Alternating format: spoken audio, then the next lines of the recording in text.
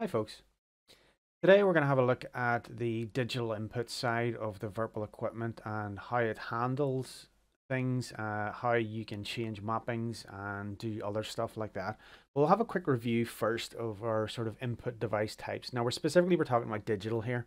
So first basic type we have is a push button. So for example in this picture of showing you here, you have your B1 to B8 buttons. They're all standard push buttons it goes for exactly the same for these hat switches. They are indeed four-way plus press, but they're standard push buttons.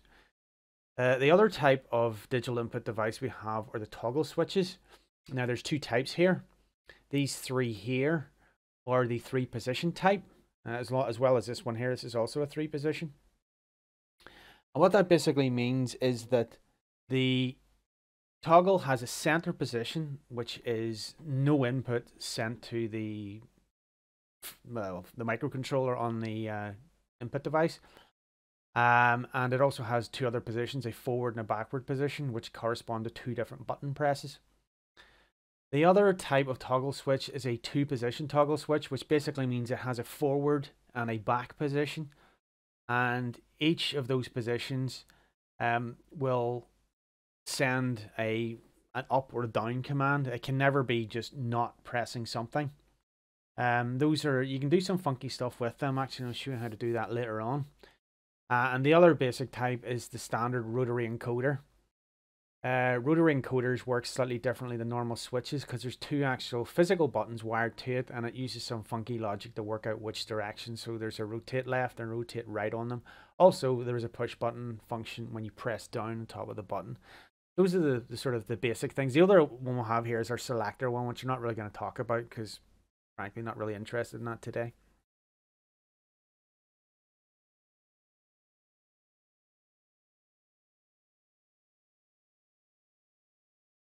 Right, I'm going to load up the software now. I've currently got it. Uh, I'm using an older version, by the way, from May. I don't like the newer versions. Don't ask me why. Um, and we have our throttle selected and we're on the button tab. Uh, to toggle expert mode off and on, you just click on the ready button there and that'll, that'll change it. So let's look at some basic concepts here. How the firmware handles input from whatever digital input devices, be they toggle switches or just push buttons, is handled by this mapping system here.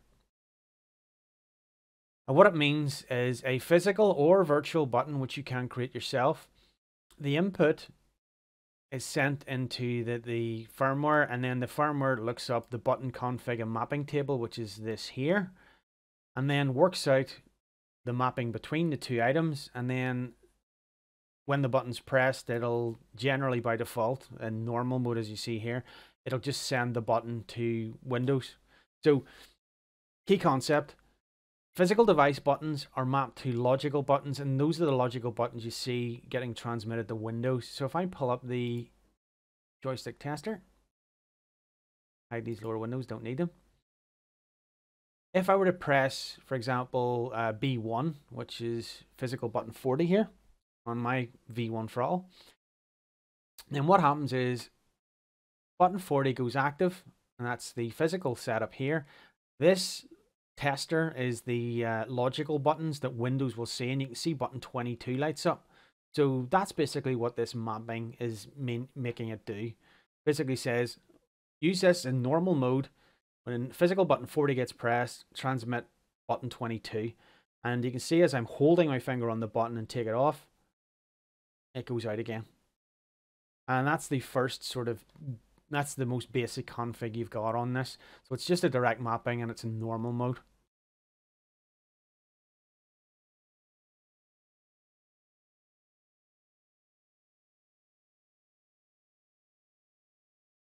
So the, the button, button mapping table here uh, controls how the firmware interprets the physical button inputs you give it and then does does what it needs to do and sends it on to Windows.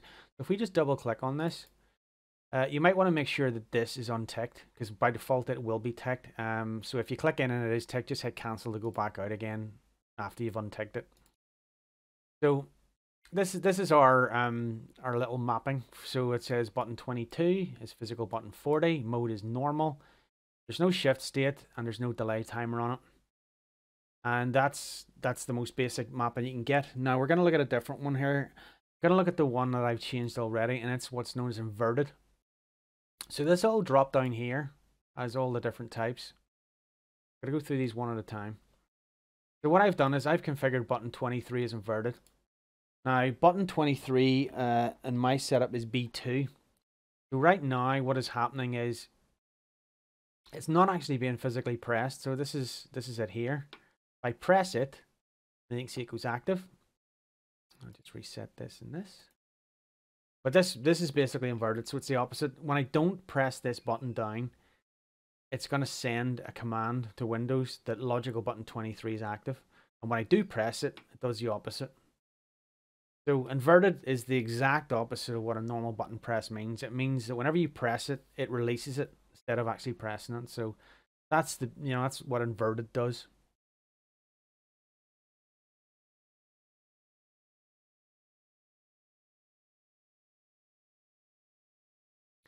Okay, so next one we're going to look at is the switch configuration. That specifically would correspond to T2 and T3 toggles on the Virpil throttle.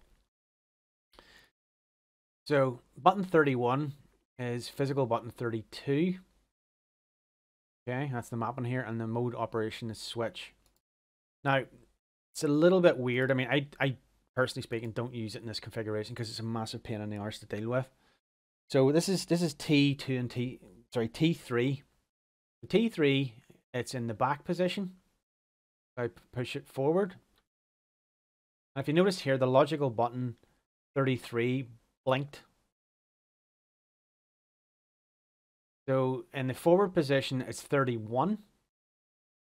And in the rear position towards you, it's it's 30. But there you go, just toggle it off and on. But if you actually notice down here, I'm moving it forward and backward. So you can see yourself, it, it's going to be in one of two states. It can't be in neither state. What it's doing, it's triggering button 33. Now, to actually make that useful in software, specifically iFlight DCS, you need to go in and edit Lua configuration files for um, whatever aircraft, for example, the KA-50 or something like that, to actually get the kind of operation you want out of it, as in it, it actually knows if it's up or down based on the position. Um, I don't use it in that mode. I actually unmap it and use it a different way, um, which I will show you in a second.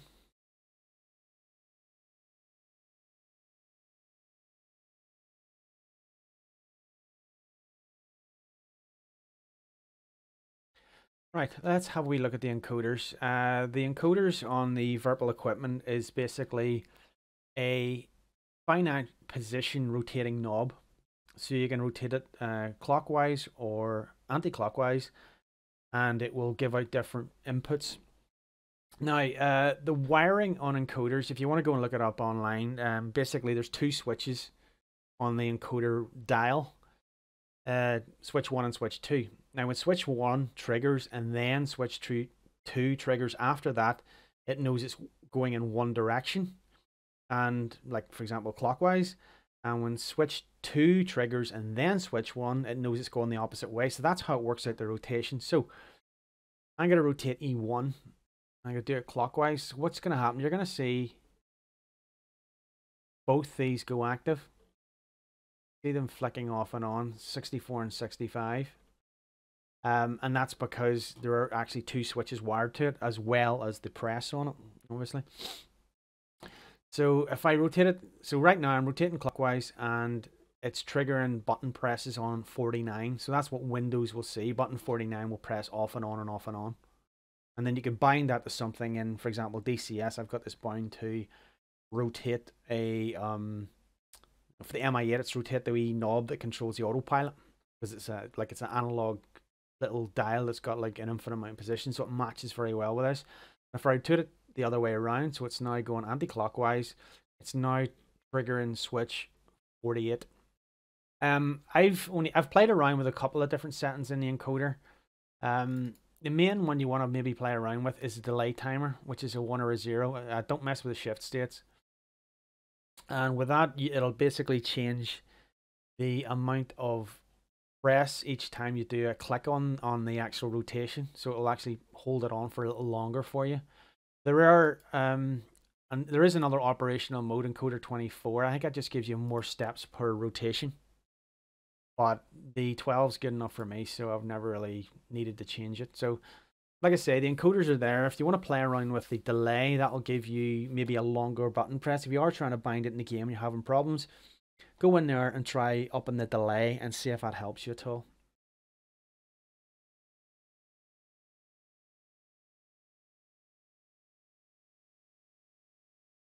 Right, let's have a closer look at the toggle switches. Now, the T2 and T3 toggle switches are the ones that only have two positions. It's either forward or backward. There's no in between. There's a couple of different ways of configuring these. And if you've watched my other video, I configured it uh, using them as normal buttons. So right now on my current configuration, T3 is set to normal button mode. Now, that's going between physical button 30 and 31. And that is mapped to 33 and 59 logical. There's me switching between them. That's in the back position, so that's 33. Logical's going to Windows, put it forward, 59, back and forward, back and forward. You can see that the button is actually active continually in whatever position it's in. Now, there is a different way of configuring this, which I have done with T2. And T2's current mode has been set to toggle on so physical button 28 is mapped to 32 logical and the mode is toggle on. And 29 is mapped to 59 and it's also set the mode toggle on. And I'll show you what the difference is. Now with the other switch in, in normal mode as you have it, it's always holding a button and sending it to Windows. And in the other toggle on mode, what it means is that when I move it between the two positions, it like it's like a single instantaneous button press, and then it's released. That might be more useful to some configurations. It might lend itself to better configurations. So that is the the toggle on mode.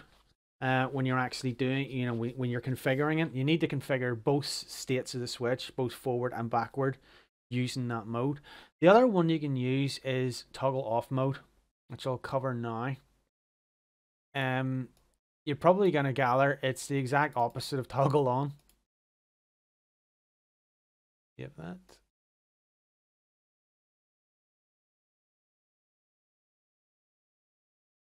Back to the device.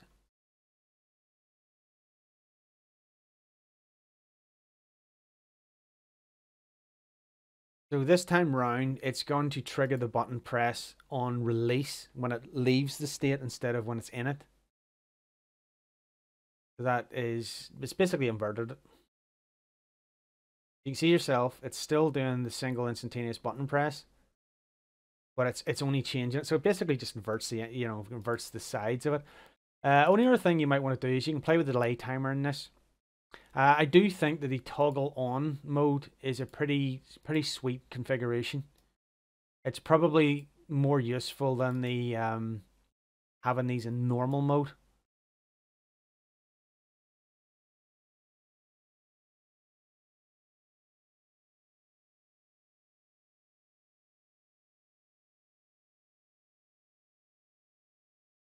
because it is going to get it's going to give you a press when you move into that state and then it's not going to keep it held down. So that's probably a slightly better way of doing it.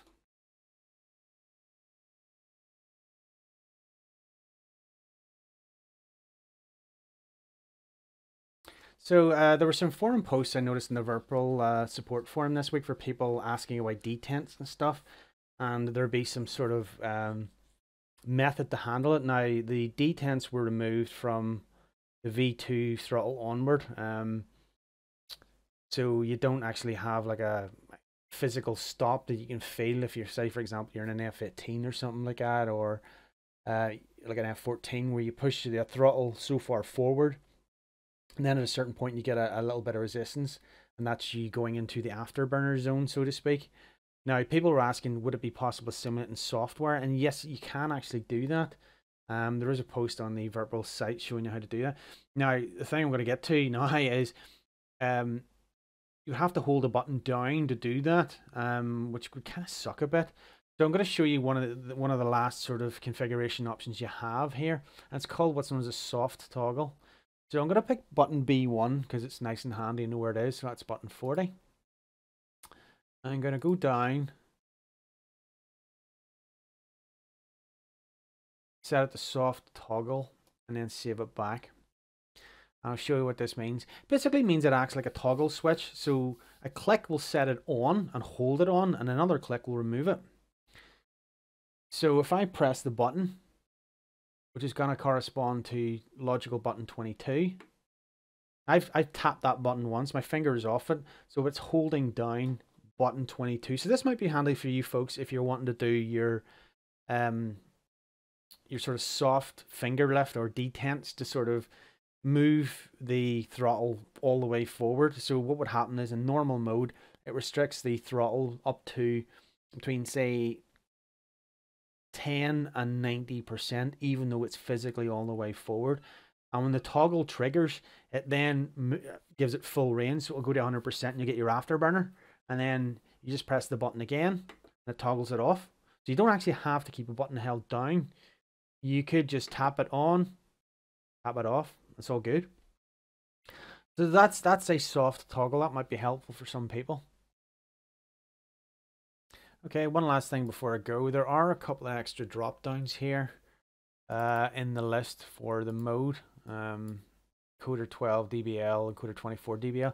Uh, currently, they don't do anything right now. Um, there must be for a new feature coming that hasn't been implemented yet. So there's no point setting them. You can set them if you want and click save, but they'll not stick if you ever try and save it back. It won't do anything.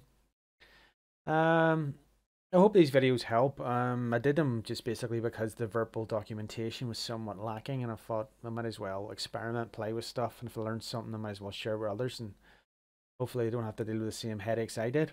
So I hope this helps you, and uh, please subscribe and have a nice day.